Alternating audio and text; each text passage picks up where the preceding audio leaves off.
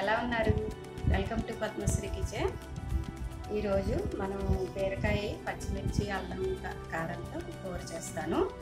ఆ వీడియో చూసే ముందు లైక్ చేయండి షేర్ చేయండి సబ్స్క్రైబ్ చేయండి.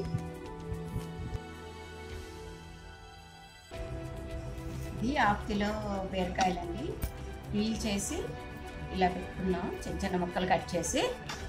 దీన్ని దీని మీద వచ్చిన పొట్టు పడేసుకోకండి. దీంతో ఇంకొక రెసిపీ మీకు చెప్తాను. అది చేద్దాం. అది చేద్దాం. ఓకే. ఇప్పుడు దీంట్లోకి కావాల్సిన ఇంగ్రీడియంట్స్ ఏంటంటే ధనియాలు ఒక చెంచా హాఫ్ చెంచా జీలకర్ర బాగా తొక్కు తీసి ముక్కలు చేసి పెట్టుకున్న అల్లం ఒక చిన్న పీసు ఒక ఐదు ఆరు పచ్చిమిరపకాయలు పడతాయి. ఇంకా స్పైసీగా తినాలనుకునే వాళ్ళు కొంచెం కారం కూడా వేసుకోవచ్చు. రె- రెడ్ చిల్లీ పౌడర్ వేసుకోవచ్చు. ఇది కొత్తిమీర. దీనికి కావాల్సింది ఉప్పు కొంచెం పసుపు. కూర చేయడానికి ఆయిల్. అంతేనండి ఎక్కువ ఇంగ్రీడియంట్స్ అవసరం లేదు. దీనిలో రెండు టేబుల్ స్పూన్లు ఆయిల్ వేస్తున్నాను. దీనికి తా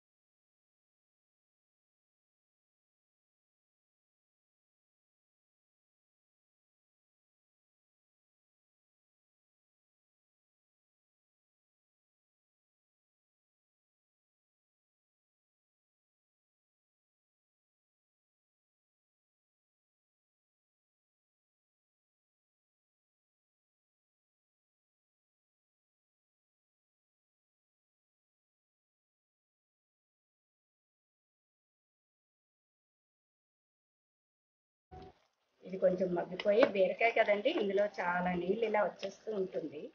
ఇంకా మనం సాల్ట్ కూడా వేయలేదు వేస్తే ఇంకా వస్తుంది.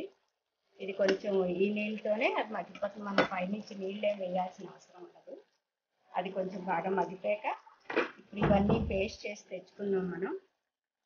ఇందాక చూపించినాం కదా ధనియాలు జీలకర్ర అల్లం పచ్చిమిర్చి కొత్తిమీర సాల్ట్ కూడా. కొంచెం పసుపు. ఇది తర్వాత ఇందులో వేసుకోవడమే. అది బాగా మగ్గాక ఆ తర్వాత వేద్దాం. ఇది ఇలా సగం వరకు ఉడికిపోయింది. ఇంకొక ఫైవ్ మినిట్స్ ఉడకాలనుకోండి. ఆ లోపల ఈ పేస్ట్ ఇందులో వేసేద్దాం. కొంచెం కారం తక్కువ అనుకున్న వాళ్ళు ఒక రెండు పచ్చిమిరపకాయలు తక్కువ వేసుకున్నారు ఎక్కువ కావాలనుకున్న వాళ్ళు కొంచెం రెడ్ చిల్లీ పౌడర్ వేసుకున్నా పర్లేదు. కాకపోతే కలర్ చేంజ్ అవుతుంది. ఇలా పచ్చిమిరపకాయ ఇంకోటి ఎక్స్ట్రా వేసుకున్నా కూడా పర్లేదు. ఇప్పుడు ఇది ఇలా మనకి లైట్ గ్రీన్ కలర్లో చూడడానికి చాలా బాగుంటుంది. తింటే అసలు బీరకాయ కొంచెం చప్పటికి కూర కదా. దీనికి ఎక్కువగా టేస్ట్ ఏం మనకు ఉండదు ఉండదు అనిపించదు. అందులో ఇది మనం స్పైసీగా ధనియాలు జీలకర్ర పచ్చిమిరపకాయ అల్లం ఈ నాలుగు కూడా కొంచెం స్పైసీగా అనిపిస్తుంది. ఇవి వేసుకుని కూర చేస్తే ఇది రైస్లో చాలా బాగుంటుంది. చపాతీలో కూడా తినచ్చు. ఇంకొక ఫైవ్ మినిట్స్ ఇది మగ్గాలి. ఇప్పుడు ఈ మనం బీరకాయ తొక్కు తీసి పెట్టుకున్నాం కదా ఈ పొట్టుని ఇలా కడిగి శుభ్రంగా ఒక రోజంతా నీడలోనే ఆరబెట్టండి రేపు దీని తాలూకా పని దీంతో ఏం చేద్దామా రెసిపీ అన్నది రెసిపీ మీకు చెప్తాను. ఇదేంటంటే ఈ బీరపొట్టులోని బీరకాయలో ఉన్నా కన్నా బీరపొట్టులో మనకి ఎక్కువగా మినరల్స్ ఫైబర్లు అన్నీ చాలా వాల్యుబుల్ ఇవన్నీ ఉంటాయండి దీనిలో. ఈ బీరపొట్టు చాలా వాడటం మంచిది ఆరోగ్యానికి మంచిది. ఇది మనం పడేసి వేస్ట్ చేసుకోవచ్చు. దీంతో రెండు మూడు రకాలు ఐటమ్స్ చేసుకోవచ్చు. మెల్లిమెల్లిగా మీకు అవి కూడా చూపిస్తాను. రేపు ఒకటి చూపిస్తాను. ఇది కడిగేసి శుభ్రంగా ఆరబెట్టి ఉంచాను